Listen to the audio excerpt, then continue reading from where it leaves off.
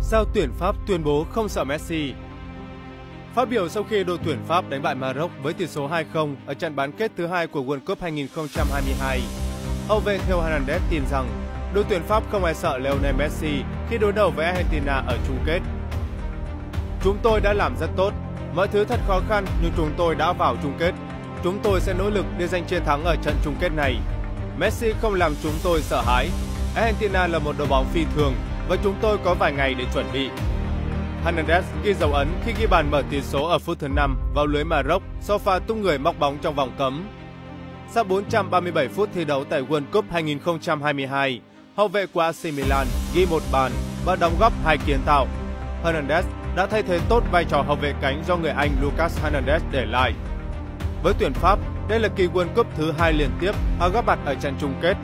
Le Lù đã lọt vào trận chung kết World Cup 4 lần trong 7 lần tổ chức gần nhất của giải đấu vào các năm 1986, 2006, 2018 và 2022.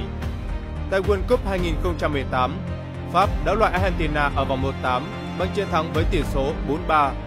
Tuy nhiên, ở lần tái đấu này, hoàn cảnh cũng như phong độ, lực lượng hai đội có những thay đổi đáng kể